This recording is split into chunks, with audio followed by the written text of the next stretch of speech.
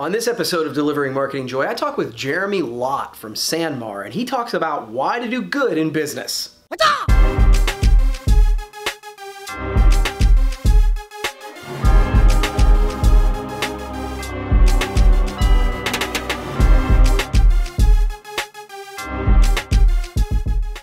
Hey there, and welcome to another edition of Delivering Marketing Joy. I am your host, Kirby Hasseman, and joining me today is a man. I really appreciate uh, him taking the time today. He's a, a big wig in our industry. He's the president of SanMar, Jeremy Lott. Jeremy, thank you so much for taking the time. I appreciate it. Yeah, it's my pleasure. I'm excited to be here. Thanks for having me. You bet, you bet. So I want to jump right in. Um, SanMar is a huge company in our industry that manages a, a large number of brands and a huge number of SKUs or products. How do you decide? Like that, that's something I always wonder is how do you decide what products you want to add to the collection and then what products you're going to move on from? How do you make those decisions?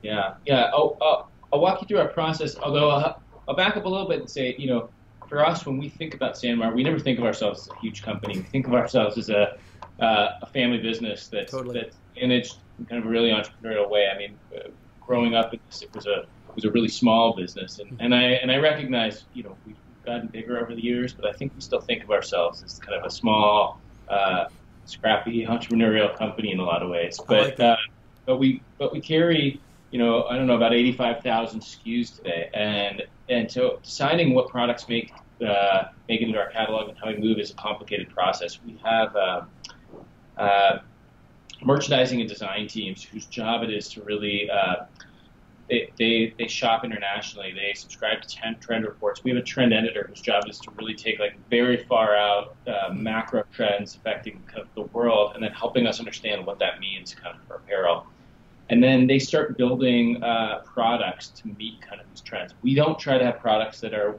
think of as super trendy. If we think it's going to be cool this summer, but by fall no one's going to want it, uh, that doesn't really work for us. If we bring something in, we're going to carry it for at least three years. So we know we want things that are current and modern, but that have some life to them. Um, so then our product teams start building those products, and I get involved at two stages. The first is called design review, where they pitch concepts. They might have a uh, they may have fabric, they might have uh, drawings, they may have a retail inspiration sample, and and it's kind of a yay or nay. I think this is a good concept. Let's keep moving on it, mm. or no, this isn't really where we want to go. Um, if, if it's a yay, then goes and that product actually gets developed. They start working with factories, with fabric mills. Um, our production planning team starts to put real data to how much they think it's going to sell, what the price points are going to be. Uh, and then we get to something called final adopt. And at final adopt, um, they're presenting products, and about 50% of the products that get presented actually get approved to go in the line. And it's a hmm. really hard process because merchants have spent um, uh, 18 months and or a year at least, and, and a lot of effort developing. And and for me, it's kind of like telling them, you know, I don't think their kids are cute, you know, uh, and yep. I'm like, it's a little bit of a hard process, but but we have to cut. And so that gets to the products that actually kind of then make it into the line. Um, every year we also discontinue products, and that's a lot easier, frankly, of a process because uh, it's not it's our customers telling us what they don't want to buy anymore, and it's more than us. So um, really, we look at we look at sales, uh, we look at where product, how much inventory we have, how it's downturning. Um, where we think we're going to be, can we continue to inventory and support it in a way given its current sales level?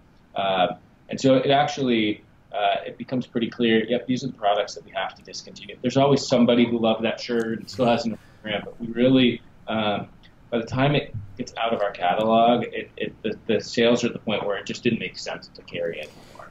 That's interesting. It sounds like like the the getting rid of it's more of um, more of a math decision, whereas the um, other side, bringing it in, is more of an art decision almost, right? Like that's that's super interesting. Absolutely, and and as we look at new products, we're applying. I mean, we haven't we at Final Adopt. There's a number sitting next to every product. How many do we think we can sell in year one? How many think we can sell in year three?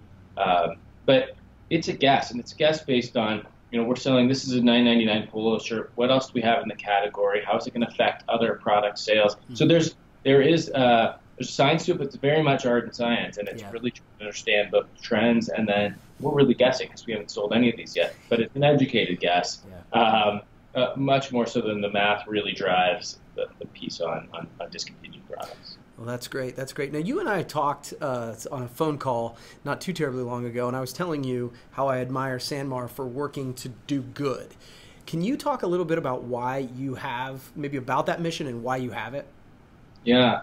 So I always think like my dad started the company in 1971, and there was, uh, he, he really started this because it was, um, he had gotten uh, like there was an ethical piece of like the, the very beginning or values piece maybe is the right word at the very beginning. He had bought 1,200 T-shirts from the largest supplier in America at the time. The, the shirts came in; they were the wrong shirt, not what he'd ordered. Mm. The supplier told him, um, "You're a Siri customer. You have your shirts. I have your money. The deal's done." And hung up on him. Ugh. And my mom really said to him at the time, "If they're the biggest. Why don't you go compete with him? And so he had this mantra at the very beginning that was kind of tell the truth and be nice. That was his mantra for how he wanted to build a business. Love it. So those values were built in. I think day one. I think a couple of things though uh, changed the way I looked at the world, and, and maybe the biggest was in 2012 when there was a large factory that collapsed in Bangladesh and uh, over a thousand people died. And there was a little bit of a soul searching moment for me saying, hey, are we in apparel production um, part of a problem in the world? Are we, um, you know, creating, you know, child labor, forced labor, you know, paying people fairly? Are we doing all these terrible things? And now are we actually putting people in dangerous working conditions? Mm-hmm. People are dying making these shirts. Um, and I thought about it uh, because that was the that was the narrative. If you watch the news, yeah. um, I said for the last 15 years, I'd spent a lot of time traveling the world in factories, and I said that was real. The factory collapse was real, but there's a lot of really good factories, and there were great partners who were doing good things in the community.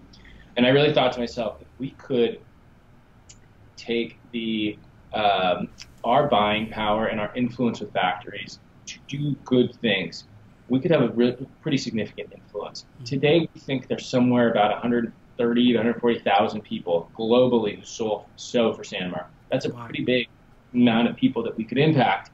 And so we started really thinking well, how we could do that. And so we started talking to our factory partners and we said, well, what are you guys doing um, in your community? What are you doing for healthcare? What are you doing for education? What are you doing beyond just you know paying people a fair wage and being compliant? And some of them started to say, well, we're actually doing these really innovative things. We thought, well, that was really interesting. And then we went to the guy across the street and we said, you know, this factory over here is doing these really innovative things. What are you guys doing? The answer was, we're not doing any of that. We're saying, hmm, well, you know, part of our purchasing decision is going to be what are you doing to influence, to impact, you know, your community. So maybe you should think about some things the guy across the street is doing. And that was really impactful. We started to see um, more and more of our factories kind of engage in our partners. So for us, a big piece of our um, production decision is what's the impact that um, our partner is making kind of in their community? Mm. How are they investing to do it? Um, and we think that we can not just influence those people, but the, the communities and the, the countries kind of beyond that. And it's become a really rallying cry for everyone at SanMar here is how do we um, take this product that we sell, this basic polo shirt, and how do we make it more than that? How do we actually kind of really create a difference um, in, the world with it? And we've been, uh, it's been a really important part of our mission. Man, I love it. I, I think it's it's really interesting, and I think more and more businesses can have that kind of impact if they just start asking those questions. So I, I appreciate your leadership on that, I, and, and, I'm fascinated by leadership. So, and how to how I can grow as a leader. Um, so as a leader of a, an organization, I know you still think of yourselves as small, but fairly large organization. What tips do you have for me or anyone listening on getting better as a leader?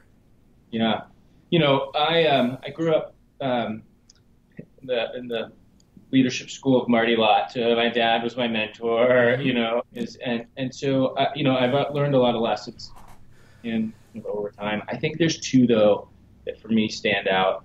Um, you know, I, I, hard work is maybe the first one. I think that mm-hmm. just our family. Um, that was always an expectation that there wasn't a substitute for kind of showing up and working hard and, and, and setting that example. People ask me the best advice your dad ever gave you, and I tell them always work harder. You know, I, think sometimes um, hard work is just uh, undervalued, and so and so we work really hard. I, and I think that sets a tone in the organization. I, I, I think the only other piece is is humility and to be really humble. I, we're um, we're not the smartest people in the world, but we listen uh, well, and I think we pride ourselves on that. We listen to our customers, we listen to our employees, um, we try to take those ideas and act on them. And so I think somebody who comes into any organization, any leader who thinks I know it all, um, follow me because I'm the smartest guy in the room. Uh, that, that rarely works. I think the person who comes in and, and asks more questions than talks, listens more than they talk, and, and thoughtful is the type of leader that I try to be. Um, and, and, for us, it's been the most successful. And, and really, I I learned that from my dad, and and you know, for us, it's worked really well over a long period of time.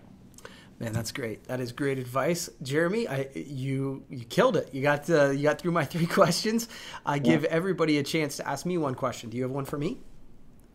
Yeah, you know, I um, I, I, do. I've, I've been thinking a lot about this idea of, um, uh, you know, a lot of people will say it's not it's not it's not personal. It's just business. Mm. And and for me, I struggle sometimes with that. Yeah. I was wondering in your business, in your experience, um, how you think about that. Is it is it personal, or do you separate the two and say it's it's really it's just business for you? I 100% believe it's personal. um, because the reality of it is, I think people still buy from people and brands they like, know, and trust. And I'll be honest with you, like when we're making purchasing decisions, the relationship I have with my supplier rep, my salesperson, my or the internal team, one it 100% plays a role in my purchasing decisions. Um, one of my good friends in the industry is Dana Zezo. And when Dana hopped or left from one supplier and went to the other, our business followed it because it was Dana and he was my friend. Now, the one thing that I would say that the caveat to that is look, it's got to be somewhat comparable, right? Where, where you say it's just business. Well, if one person's selling something for $5 and one's selling it for 10 and they're the same, well, then, then I think for me, where it becomes personal is to go to the person I have the relationship with and go, man, if you can get it close, we still want to go with you. So to me, it is it's doing business is a very personal thing, and I want it to be, if that yeah. makes sense. And so it, it, where the it's not uh, personal, it's business. It's like I say, it's got to be comparable in the numbers, but once it's that, then it has to do everything with relationship from my perspective. Well, I, I, I, I it's great to hear. That's how I feel too, and I, I, I, think our industry is built on yes. those relationships, and I hope that continues for a long time. So. Cool. Thank you so much, Jeremy. I really appreciate you taking the time. I know you're a busy guy, and uh, we'll have to do it again sometime. Okay. My pleasure. Absolutely. Cool. Well, that's going to wrap up this edition of Delivering Marketing Joy. We'll see you next time.